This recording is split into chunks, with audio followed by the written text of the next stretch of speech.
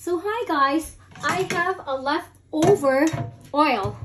Now what I'm gonna do with this one is, how do I dispose it is, I have an aluminum foil here. Let's get just a little bit. And then after that one, we're gonna put this here. And see this? That's this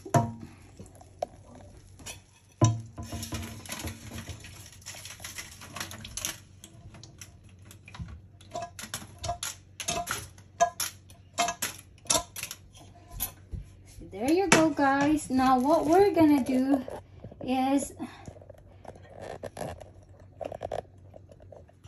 what we're gonna do is um see that? We're gonna close it up.